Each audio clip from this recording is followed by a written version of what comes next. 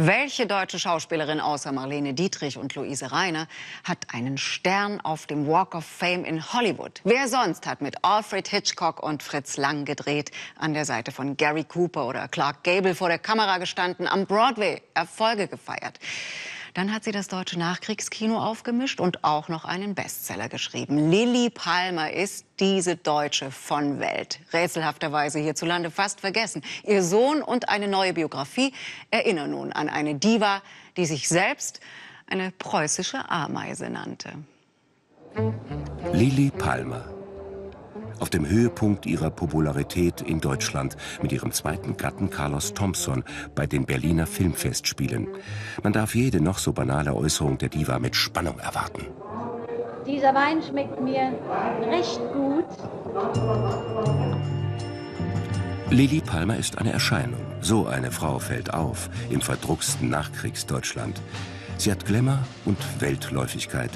Das demonstriert sie erstmals 1954 als exotische Zirkusdirektorin mit bizarrem Akzent. Der Stolz meines Lebens.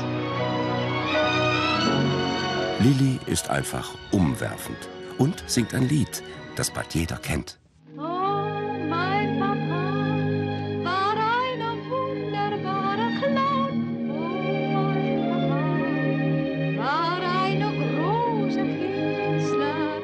Sie wagt sich auch an schwierige Rollen, spielt in Teufel in Seide neben Kurt Jürgens eine Psychopathin.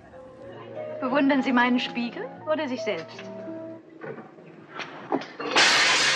Als Lilly Palmer in Deutschland berühmt wird, ist sie schon über 40. Bloß, was war davor? Ich denke immer an ihren Mut, dass sie nach Deutschland zurückgegangen ist, als Jude, das, das brauchte Mut. Und das hatte sie. Denn wenige haben das getan. Es ist wahr, dass für Deutschland war sie keine Jude, sie war ihr, ihrer Hollywood-Star. Das turbulente Leben der geborenen Lilly Peiser ist jetzt in einer neuen Biografie nachzulesen. Die spannende Geschichte eines jüdischen Mädchens aus gutbürgerlichem Hause, die Tischtennis spielt bei Weltmeisterschaften, Schauspielerin wird gegen den Willen des strengen Vaters und mit 18 vor den Nazis flieht, quasi von der Bühne weg. Ihr Glück sucht in Paris und London. Wenn man schon aus der Karriere herausgeworfen wird, herausgerissen wird, dann glaube ich, dass das Alter, in dem ich war, nämlich 18 Jahre, einfach ideal. Die couragierte Lilly hat Erfolg in England, schafft es zum Film, auch auf die Bühne, und das als unerwünschte Crowd. Im Vorkriegs-London sorgt sie für Mutter, Schwester und den Hund, pflichtbewusst, organisiert und verliebt sich ausgerechnet in Rex Harrison, sexy Rexy. Hochzeit, Kind und jetzt wird's schwierig mit der Disziplin. Sie hat immer die Kontrolle, das ist sicher ein Hauptmerkmal von Lily Palmer, diese unglaubliche Disziplin, auch ein bestimmtes Bild von sich zu inszenieren. Und das ist umso erstaunlicher, dass ihr das gelungen ist, mit diesen unberechenbaren Männern an ihrer Seite. Lily und die untreuen Männer, das ist eine Geschichte für sich. Neben Rex macht auch sie Karriere in Hollywood, steht mit Clark Gable oder Gary Cooper vor der Kamera. Als tapfere Partisanin spielt sie fast sich selbst, klug, resolut, nur... Vielleicht bin ich eifersüchtig, Gina. Bei Männern schwächelt sie. Loyal steht sie zu Rex nach dem Selbstmord seiner Geliebten. Doch die Idylle im Ferienhaus ist Fassade. Lily und Rex reüssieren als Paar am Broadway. Da ist die Ehe schon tot.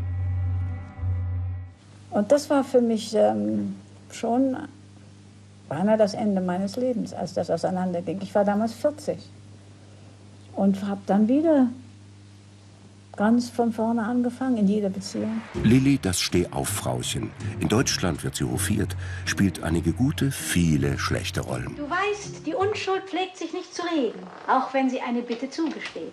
Selbst in schwachen Filmen wie Mädchen in Uniform hinterlässt sie neben Romy Schneider einen bleibenden Eindruck.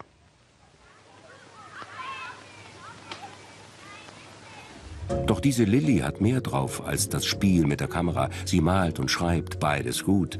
Ihre brillante Autobiografie Dicke Lilly Gutes Kind ein Riesenerfolg. Auch der zweite Mann macht, was er will. Aber Lilly bewahrt, wie so oft, Kontenance.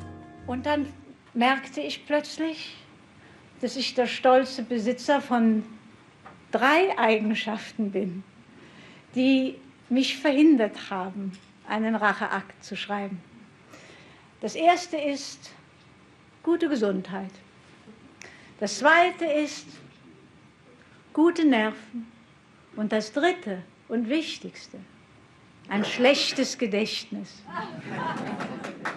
Wenn sie heute Karriere machen würde, dann würde das ganz anders rezipiert werden, weil sie, äh, klar, weil man das viel internationaler wahrnehmen würde heute. Die Palmer, intelligent, aufrecht, witzig. Heute zu Unrecht fast vergessen. Eine Frau von Welt, geboren in Deutschland vor 100 Jahren. Ich bin auch immer noch sehr, sehr jung und muss noch viel lernen.